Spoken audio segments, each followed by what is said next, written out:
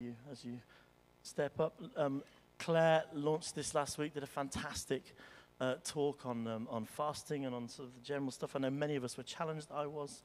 Um, Paul's going to pick it up today. Why don't I pray for you? And then, so Father, we thank you for Paul. We thank you for his many gifts and, his, and, and the many things in his life um, that you've given him and for the things that he's given him to share with us this morning. Holy Spirit, come, empower and anoint him. Give him words that will encourage us, that will challenge us, and that will increase your presence in this place as we listen to your word and as we consider that and as we move forward in our growth and our discipleship of you. Amen. Good morning. Well, before I kind of speak, firstly, I just wanted to thank you for those who prayed for me. I, I hear we got prayed for um, last week. If you're not aware, uh, I took a team that includes kind of Mark Ours, Tess Evans is upstairs, and a worship leader friend I had, and um, we went and did what's called a, a, kind of regional conference where people with the organization I work with who are trying to reach Muslims and kind of gather.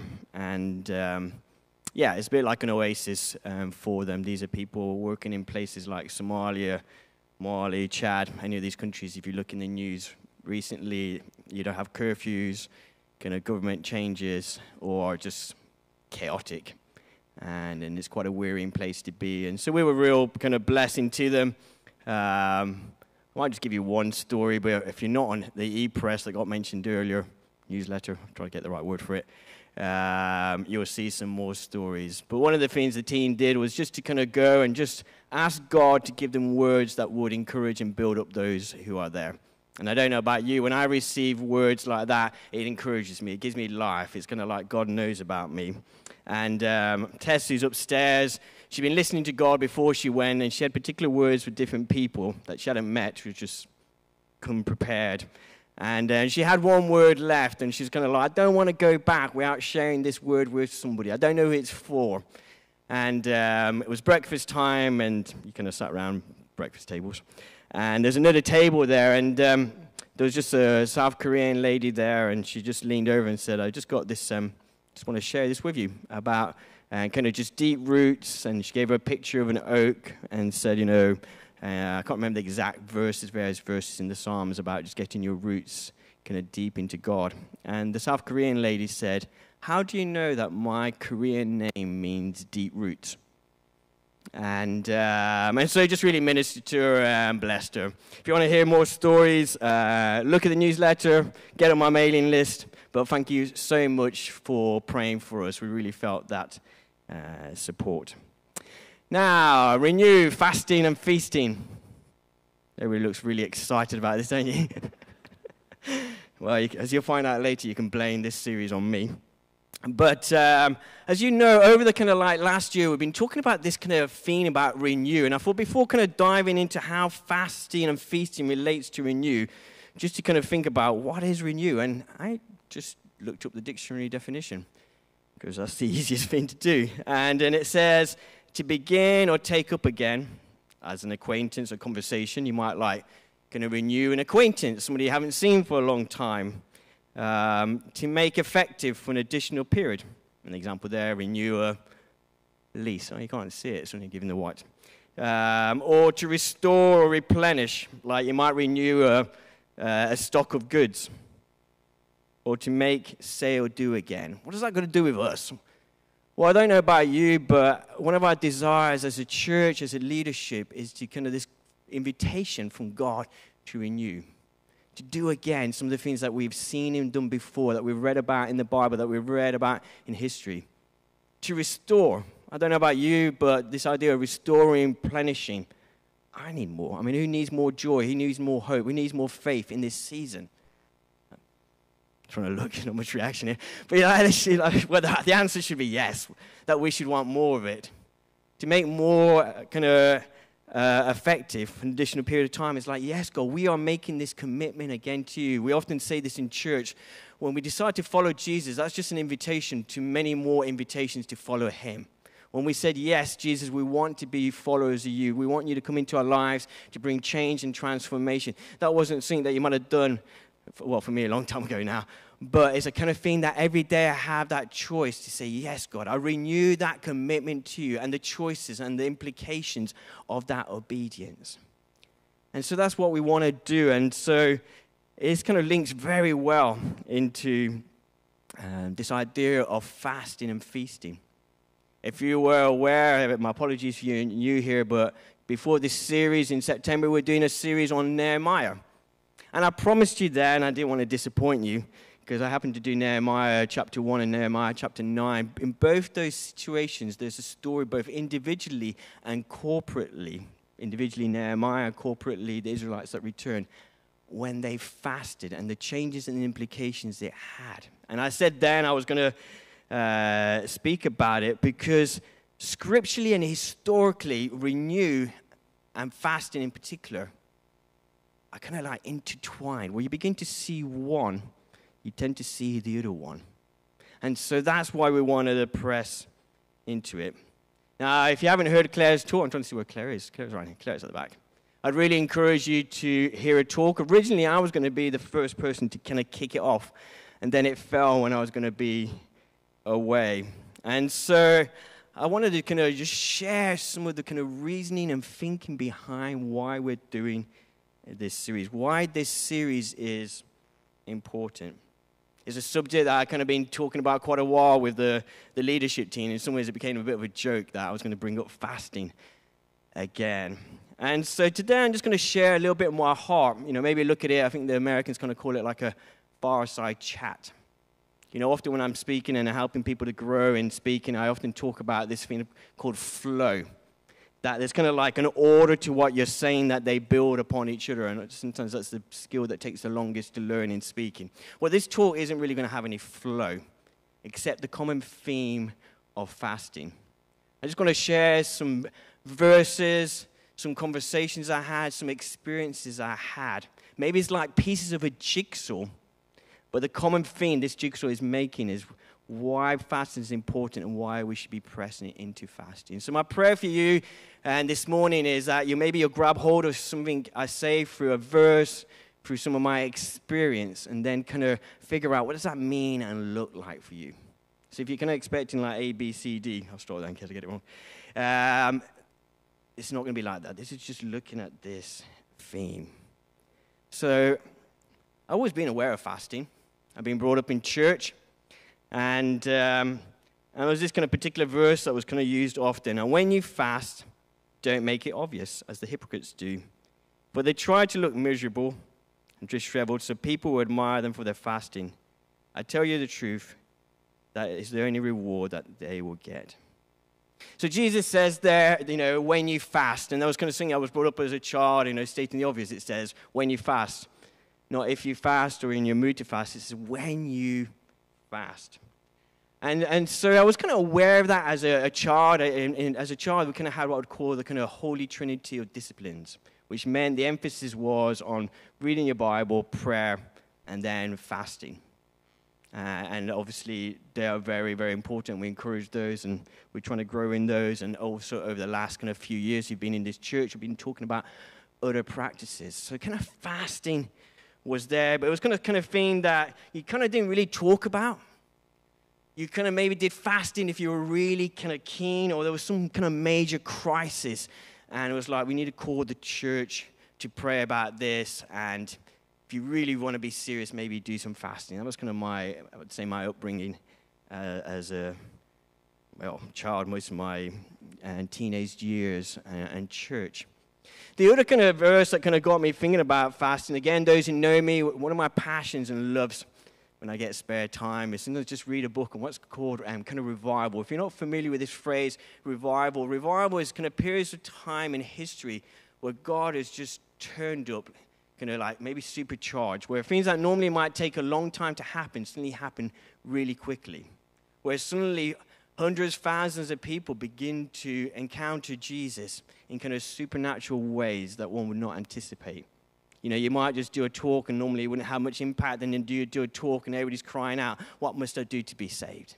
That's kind of what revival is about. And the kind of classic verse that people often come back to in relation to when they talk about this is the, the verse below in 2 Chronicles 7, verse 14. If my people who are called by my name will humble themselves and pray and seek my face and turn from their wicked ways, then I will hear from heaven and I will forgive their sin and will heal their land. And so, what's the link there? I mean, it's a little less obvious there, but certainly when you read the books and people talk about what are some of the common themes and characteristics that can have resulted in revival, there's things like holiness, there's prayer.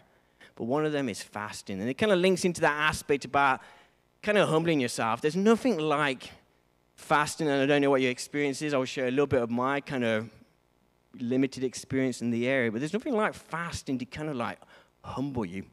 You might think you're kind of like strong and kind of got it all together. There's nothing like fasting to suddenly bring out like, you know, your weakness, to state the obvious. You just start. Have you ever done it? If you ever, even if you haven't fasted for any period of time, you haven't had food for whatever reason. You know, I joked that last time I flew, um, actually, I won't say the airline company, but I switched airline company that I was expecting to have a meal on, did not have a meal. Uh, you know, and I was just beginning to feel weak. And I'm like, when I arrive in Egypt, I'm going to grab some food because I needed some food. It, it kind of humbles you. It kind of often, if you don't take care, it's when you're feeling tired and weak. You know, sometimes that's when we maybe lose our temper and we say to, you know, somebody, sorry, I'm just feeling a little bit weak and just, um, you know, I need some food just to kind of keep me going.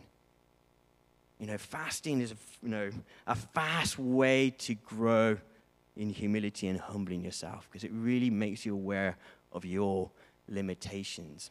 And apart from this verse, there's lots of verses that talk about that. And so this was kind of like my, my kind of background. It was there. You know, something that as a church we really did, and less, like we said, there was a crisis. Sometimes we decided to have a, a period of time. And for me, that was mainly, you know, fasting looked like uh, not eating chocolate. I love chocolate. Just telling you, just throwing that out. Christmas is coming up. And um, uh, pretty much any type of chocolate. White chocolate's my least favorite, but any other one apart from that. The other thing I like is um, Coca Cola. Like, I mean, the, the, original. You know, don't add anything to it, just pure Coca Cola. And so be like, okay, I'm going to just fast that, or I'd kind of maybe say I'm not going to do social media. And these are all, you know, I'm not saying these are bad things, but that's kind of what it, what it kind of looked like for, for me. But I was going to get challenged maybe more about a year and a half ago. It's like, there's more to this. There's got to be more to this than that. I felt like I'd kind of, for me, I'm just speaking, I'm just sharing my heart. That's what I was going to say uh, this morning. I felt like I'd kind of watered it down. And then a couple of stories kind of got me kind of thinking about it again. So this story is from Mark chapter 9. It's a story of a kind of child who was kind of demon possessed. And it says, When Jesus saw a crowd was running to the scene, he rebuked the impure spirit that was in this boy. And he says, You deaf and mute spirit, he said, I command you, come out of him and never enter him again. The spirit shrieked, convulsed violently, and came out. The boy looked so much like a corpse that many said, He's dead. But Jesus took him by the hand and lifted him up to his feet, and he stood up. After Jesus had gone indoors, his disciples asked him privately, Why couldn't we drive it out? Because they tried. You read the previous verses, they tried. He replied, This kind can only come out by prayer and fasting. Well, I mean, that should just grip our mind, and it kind of grip my mind. It's like prayer and fasting. As somebody, again, if you know my background, one of the things I was doing in the conference was just running various kind of prayer events with various nations. So I'm a great believer in prayer and the power of prayer. And yet he's saying here, not just prayer. It's like prayer is not enough in some weird way. It's prayer and fasting. It's like it's some way it kind of like supercharges prayer. And so that's beginning to bounce around in my mind. Like I said, I got these things. I'm just sharing different things from my, my heart. And then another verse kind of uh, was drawing to my attention by a guy, again, a familiar passage by a guy called John Mark Comer. And again, if you've been around church for a while, you'll be familiar with it. And then it says, Jesus was led by the Spirit into the wilderness to be tempted by the devil. After fasting 40 days and 40 nights, he was hungry. Well, I mean, that's an understatement, isn't it? Uh, the tempter came to him and said, If you are the Son of God, tell these stones to become bread. Jesus answered, It is written, man shall not live on bread alone, but on every word that comes from the mouth of God. And if you know the passage, there's some other uh, two of the temptations that Satan gives to Jesus. And I remember most of my life, I'd kind of come on this aspect of like, isn't the devil sneaky? You know, he waits till Jesus is fasted and Jesus is at his weakest to kind of come and tempt him. And then John Mark Comer pointed some out, which I would say from people I begin to speak to and from my little bit of experience, is actually Jesus was at his strongest. He might have been at his physically the weakest, but he was at his probably his emotional and spiritual strength when he got tempted. Was like, this is the right moment. And so again, that began just to kind of drip feed into my mind. It's like, whoa, when you fast, Jesus fasted. Then he was at his strongest. I'm trying to become more like Jesus. I'm trying to grow and living a life that reflects more what Jesus' life would look like if he was living Paul Phillips' life here on earth. And so that began, these were the things that began just to kind of work in my mind, some of these verses, some of these principles. Then a few other things just began just to kind of just challenge me related to this. Firstly, I don't know about you, but there's certain areas in my life I want to see breakthrough, I want to see change. I've talked before about, um, particularly just some of my children, just pressing into everything God has for them because they're not. And that breaks my heart. There's certain things in my life, as I look at and I think, why do I keep doing those things? You know, I've done the kind of sozos, you know, I love the word, work that Claire and Mervyn do, but I seem to kind of keep bumping back at these things. I want to see change. Also, as a church, this is something that's very uh, close to my heart. I want to see more of Him moving in power, both here on a Sunday and also out there on the streets. You know, I've seen different people get healed, but you know, I've seen kind of legs grow, maybe an inch or two. I can show you some stories. I'm not going to share them now. But I haven't seen a stump go all the way out. I don't know if you have. I've seen kind of people's eyesight, you know, it's not gray and they can just see a little bit better. You know, you think, okay, go and see the optician. But I haven't seen a blind person see yet. And so these are some of the things that kind of, kind of burn into my heart. I, again, also, it's great. We're seeing, you know, person here, a person there encounter Jesus and see their life transformed. But I want to see more. I kind of want to just be overwhelmed that when we have a staff meeting on Tuesday, it's like we got a nice problem. Katie and I, my wife, we've just been reading um, Acts, it's the story of the early church, and it says there this event called Pentecost when God's Spirit turned up. 3,000 were added that, you know, that day. And Katie and I, maybe because we do some leadership stuff, we're going to go with the leadership mode and thinking, whoa, that's great. Man, that causes a problem. Uh, how are they going to deal with this? Wonder how they did this. I like to have those kind of problems, those issues. And I want to see more. And so that began to stay. It's like, I want to see more. I want to see more than I've seen so far. And that would naturally begin to drive me towards this kind of theme of prayer and fasting.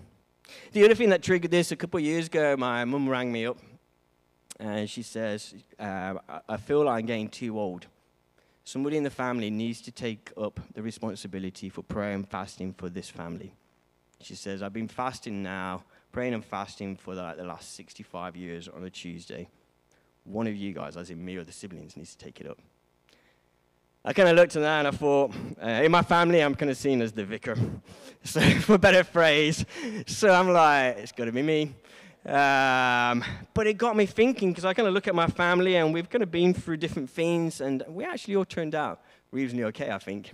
I'm not asking for feedback on that one. And uh, uh, yeah, no thank you. No random emails. But, and I look at it and I think, God, it's got to be there. And I know my mum used to pray. I knew that bit. But I hadn't realized that fasting. And they got me thinking again. So these are some of the things. Like I said, it's going to maybe be a bit disjointed, but these are some of the things that going through my mind. Also, as you know, some of you know, I, mentioned it already at the beginning. If you didn't know, I, I, work with Muslims. Most of my time is working with Muslims. Now, one thing that Muslims are good at, uh, apart from praying, because they pray five times a day, is fasting. And so, kind of being in that kind of environment where they seem to grasp the power. I mean, they look at it from a different, slightly angle, but there's fasting there. I'm thinking, what does that mean for me? The other bit that we're looking at in this theme, which I will talk a little bit about, but not so much as fasting, is, is feasting. And again, that's something that's huge for them. You know, they have what's called the, the two biggest festivals. I'm not going to give you a, a, lesson on Islam, but the two biggest festivals in Islam one's called the Greater Feast, and the other one's called the Lesser Feast. And, uh, and so this idea of kind of seeing that, and, and suddenly my organization uh, a few years ago, they kind of launched something where they're praying to see 10% of the Muslim population come to Jesus in 10 years. I mean, that's pretty big. If you know, there's about 1.7, 1.8 billion Muslims. And so they began to pray and fast. And as part of that, they asked me to kind of just interview different people and their experiences of fasting. And I began to speak them. That began to kind of cause even more kind of verses and ideas kind of going through my mind. And so, let me just shift this. Get a verse, actually. I read a, oh, that was my journey. a very popular verse uh, in Joel 2. And afterward, I will pour out my spirit on all people. Your sons and daughters will prophesy. Your old man will dream visions, and your young man will see visions. So, dream dreams, your young man will see visions. Even on my servant, both men and women, I will pour out my spirit in those days. I will show wonders in the heaven and on earth, blood and fire and billows of smoke. The sun will be turned to darkness and the moon to blood before the coming of the great and dreadful day of the Lord. And everyone who calls on the name of the Lord will be saved.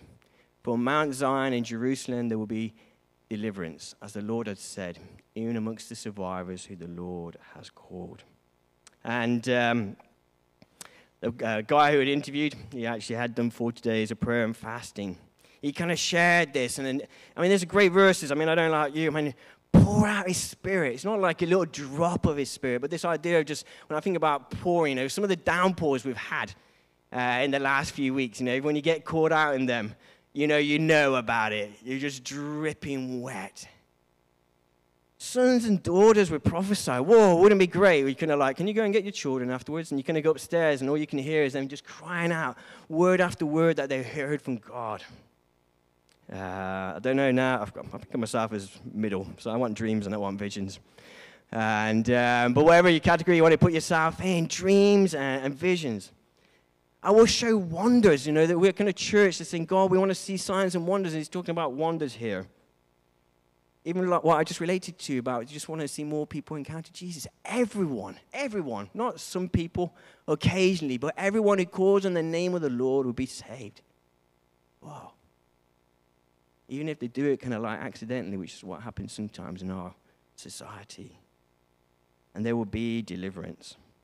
And I should have known, but I guess I've seen this verse. It gets quoted. It's actually used in what I just talked about in Acts before this story of Pentecost when God turned up. But he was the first person that kind of really challenged me about this. He goes, and afterwards, after what? Well, if you go back uh, in the chapter, even the verses before this, let alone chapter one, the common theme that comes up is fasting. So just read the verses before it. Joel 2 12 to 13.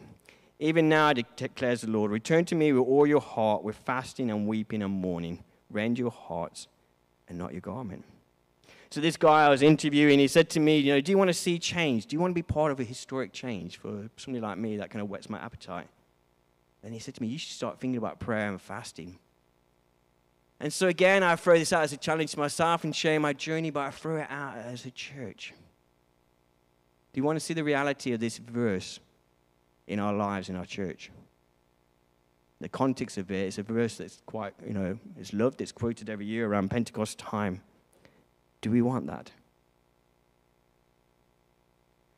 I spoke to somebody else, and um, he again brought me, like I said, a, another piece of the puzzle, maybe in a sense of jigsaw on my, my journey, but I'll throw it out for you. It's a story, and we find in James 5, and it's relating to this person called Elijah. We got that well known verse the earnest prayer of a righteous person has great power and produces wonderful results. Well, Elijah was as human as we are, and yet when he prayed earnestly that no rain would fall, none fell for three and a half years. Then, when he prayed again, the sky sent down rain and the earth began to yield its crop.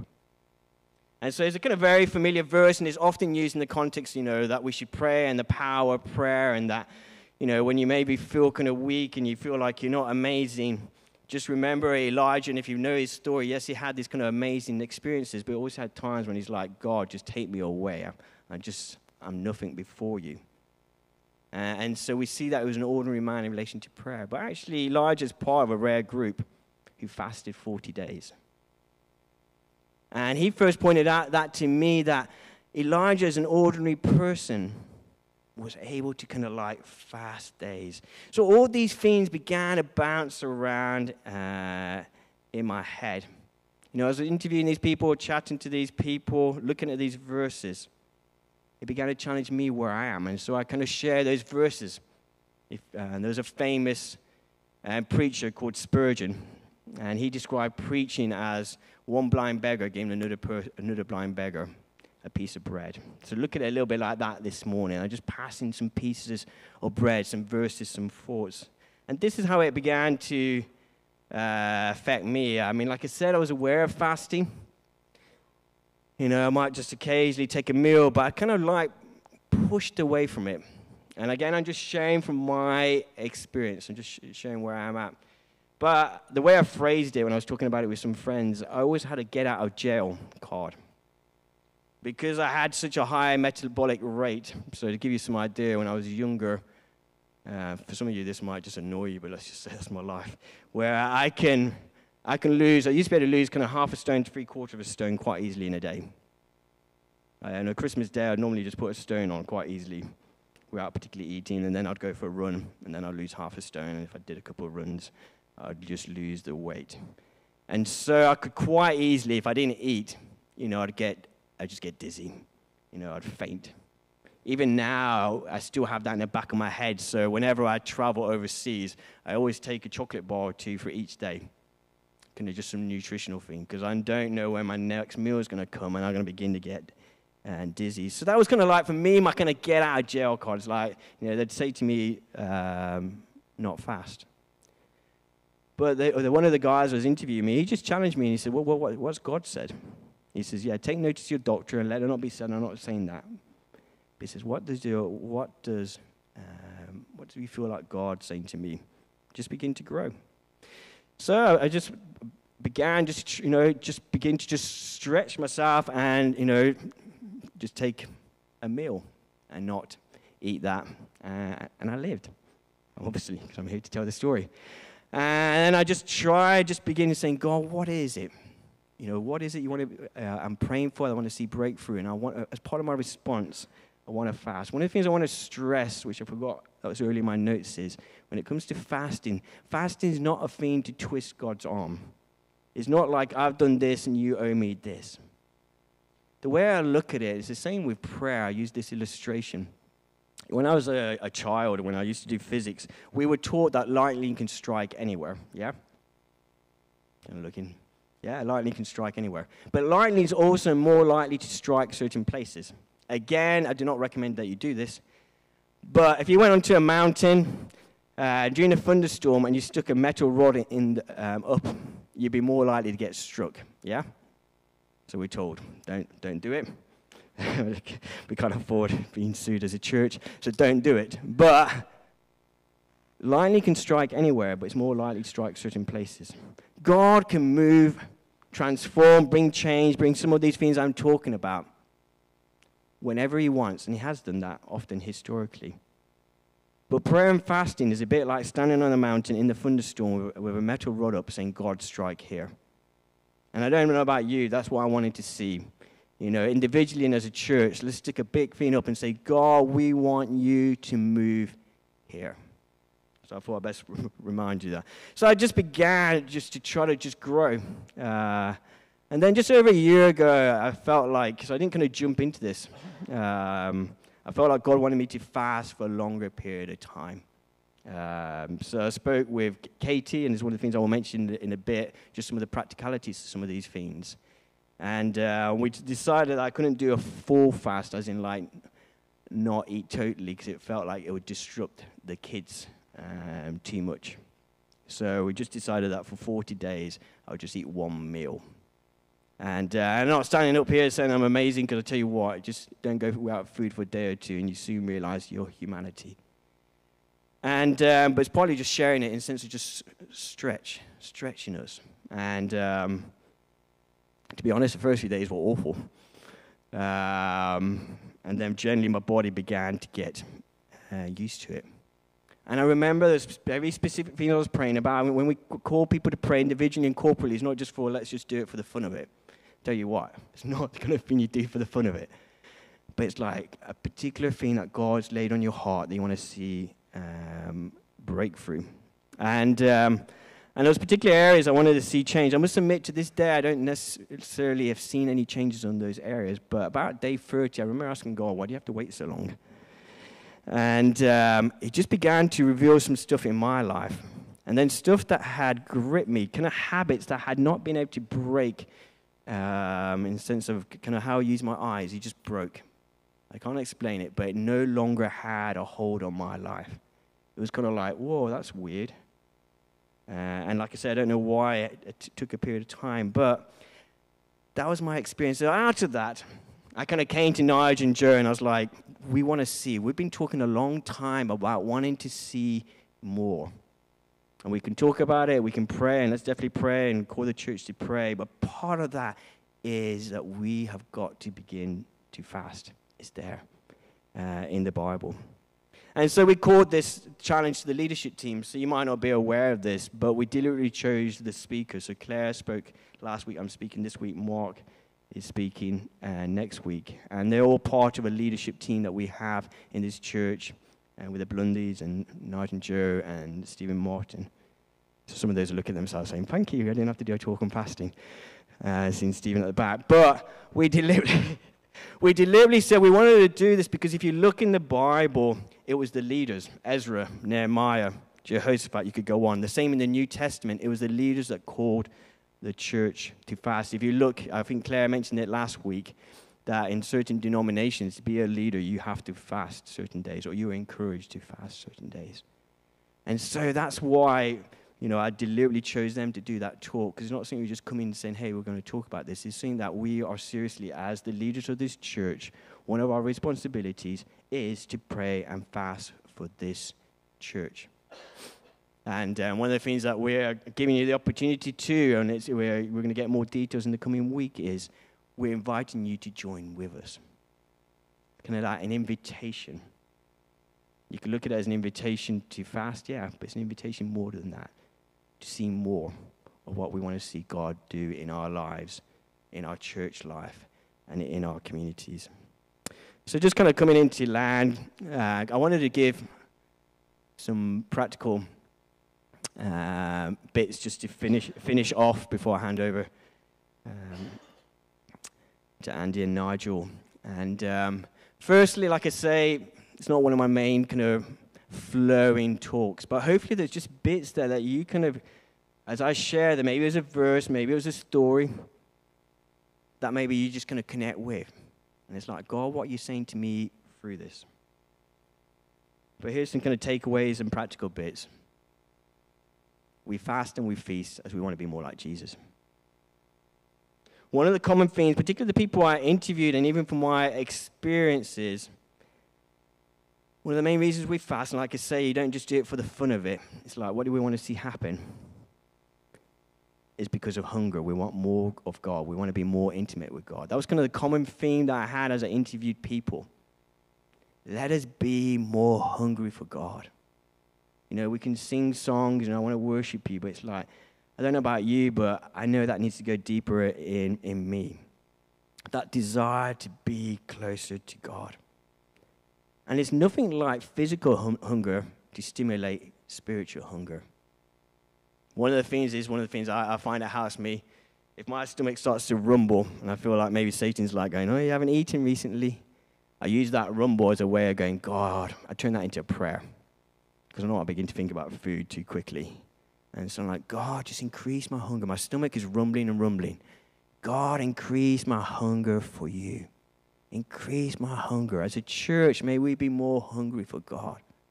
But it's like, God, we want more for you. It's like, I often describe it like, even without giving an invitation, people are kind of like yelling out, What must I do to be saved? What must I do to encounter more God's Spirit? You know, at the end of every meeting, if you're familiar with this church, we, we give an invitation for ministry. Historically and biblically, when just there's such great hunger that you don't even have to do that. So let's begin to do that. Secondly, start where you're at.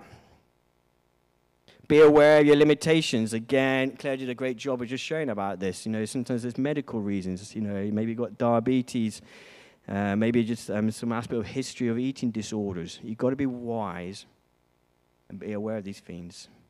But at the same time, ask God what He is saying of you. And so for me, from what the doctor said, I didn't kind of just jump and do something. I gradually allowed God just to take me on a journey. But start. Start somewhere, wherever that might mean for you. Maybe it means don't eat chocolate or something. Maybe it means don't eat a meal. Maybe you've done that before. Maybe God's inviting you to a day.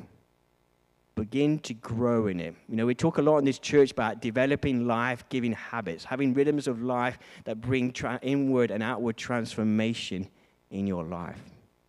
And we've done a whole load of them kind of silence and solitude and prayer examen. And here's one that historically, let alone biblically, it's got even more of a foundation, and that is fasting. Let the Spirit guide you. One of the things I have to remind myself when I feel like God's challenged me to pray, not just think and fast, is like, let's not just do this because this is what I did last time. Ask Him what it is. How does He want you to fast? What's that going to look like? But to create a rhythm. In the same way, and again, we're going to talk a little bit more about that, is having a rhythm of kind of, you know, just celebrating, not just kind of fasting, but, but feasting, because it's an area that, again, we're not very strong on, particularly the British. Well, at least my American friends have July the 4th and um, Thanksgiving. You know, if you look at Muslims, you look at Jews, if you read the Bible, just look at the Jewish history, they had some fantastic festivals. We want to grow in both of those. Secondly, just going to plan your fast. How long are you going to fast? What are you going to do in that space you create? Because people often say, I'm going to fast, and in that time I, I'm going to just pray. Take it from, well, maybe it's just me. I just fill it with something else. I'm just going to like, okay, I'm not going to go and join the rest of the people as they have their lunch. I'm just going to carry on working. Or you just sit there just thinking about your stomach. I'm just, I'm just being real honest. Think about what you're going to do that and try to help some stuff. So, one of the things that we're going to be talking about in coming weeks is as we call our church to kind of pray and fast, is we're going to just try to give you some resources to help you know what you could do in those times. Uh, you might want to talk to other people. Like I said, I talked with, uh, and I learned this from somebody else. I spoke to my, my to Katie and, and the family because I was aware that this was going to have implications on them. Katie finds it particularly hard for me fasting because I'm the main cook.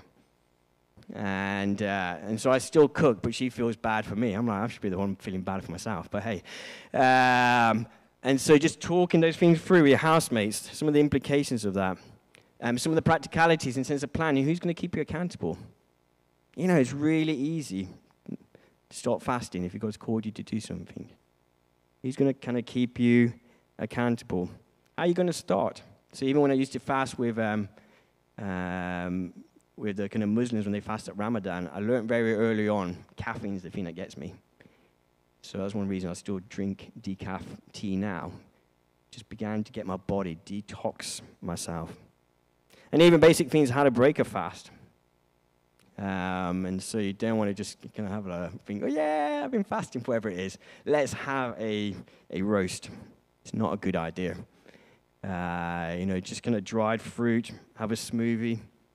Um, I actually used to have Coca Cola. Um, Cause it, not because I'm addicted to it, but uh, medically, like if you've got dehydration, it's not a bad thing for you. Kind of sugar, liquid, caffeine. Uh, but however it is, biblical foundations for drinking Coca Cola. But wherever it is, have a plan. And so just to kind of just bring us back and then handing over.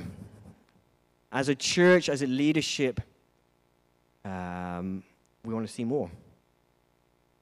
And you can fill in the gaps. It might be individual people. You know, when I'm talking about um, some of my children, you could look at it on that level. It might be looking at communities, family members, healings, people coming to Jesus. Supernatural, as um, Nigel just mentioned this morning, it will share a bit more, just supernatural financial provision. All of that, I want to see more. And historically and biblically, it's not a formula, like I said, but there seems to be a theme that fasting attached with prayer draws the attention and the favor of God. And I, for one, want that. We as a leadership want that. And we as a leadership want to invite you individually and corporately. By corporately, it might be something you do individually, uh, it might be something you do as a family. I had friends who just took turns to fast each day. It might be something you take up as a life group and you say, you know what, we want to pray and fast during this time. He wants to do Monday, he wants to do Tuesday, who wants to do Wednesday. There will be a load of different ways of doing it. But begin to ask God as we begin to come up to this season because we want to fast to lead up to Christmas. And then at Christmas, we don't want to just celebrate just Christmas Day. We want to do the kind of traditional kind of feast. That doesn't mean gorge yourself, but kind of feast on who God is and what He's about for the 12 days of Christmas. So I'm going to pray. So I've gone well past my time and um, hand over